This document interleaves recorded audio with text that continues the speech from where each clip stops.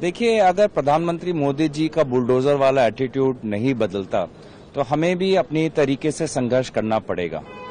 प्रधानमंत्री कहते एक चीज़ है करते कुछ और।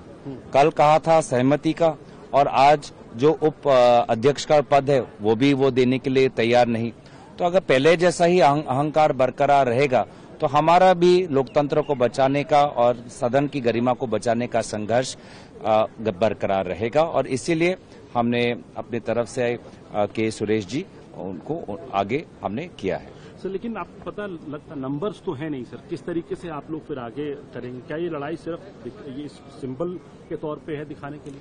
लड़ाई देश को बताने की है कि विपक्ष जागरूक है विपक्ष सतर्क है और जिस आशा के साथ देशवासियों ने विपक्ष को जिताया आशीर्वाद दिया उसी आशीर्वाद के साथ हम अपना कर्तव्य निभाएँगे। आखिरी सवाल सर क्योंकि इसके बाद में सरकार की तरफ़ से पीयूष गोयल सामने आए जेडीयू के नेता ललन सिंह जी सामने आए उन्होंने कहा कि हम तैयार थे ये आश्वासन दिया गया था कि जब उपाध्यक्ष का चुनाव होगा तब कंसेंसस से बात कर ली जाएगी लेकिन कांग्रेस और इंडिया ब्लॉक की जो पार्टियाँ हैं वो अड़ी रही इसी बात पर और ये शर्तों पर लोकतंत्र नहीं चलता देखिए इस प्रकार की बातें हम पिछले दस साल से सुनते आ रहे हैं।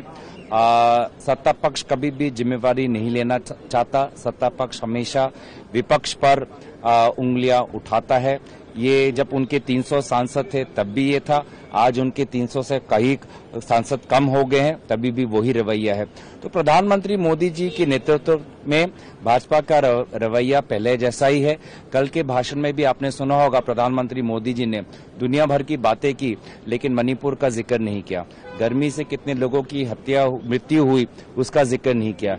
नीट, नेट सीओईटी से कितने बच्चे परेशान हैं, उसका ज़िक्र नहीं किया। जम्मू में जो हिंसा हुआ, उत्तर पूर्वांचल में जो बाढ़ हुई, विभिन्न जगहों पर जो पुल टूट रहे हैं, सभी का ज़िक्र नकारते हुए उन्होंने देश के वर्तमान की जो सबसे बड़ी मुद्दे हैं, समस्या हैं, उनको नकारा है। तो ये जो अहंकार का जो उनका स्वभाव है, वो उसको हमें तोड़ना है। देशवासियों ने हमें बल दिया है और इस अहंकार को हम आने वाले समय में और तोड़ेंगे।